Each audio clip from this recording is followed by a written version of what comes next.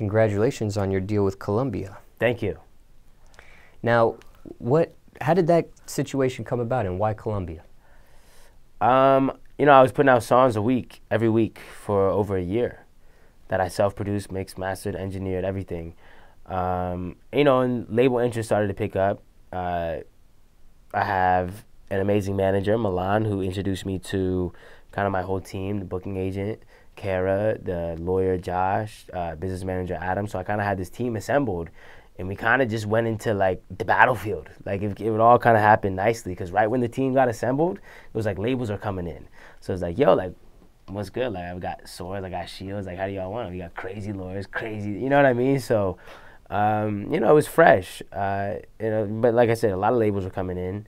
Um, you know, but I felt like Columbia understood my vision the most, and I feel like they believed in it the most, and they just kind of felt like the most uh, polished, organized, had their shit together company. And like I said, they believed in the vision the most, so it felt. And the deal was very, very ridiculously epic. but yeah, I love Columbia.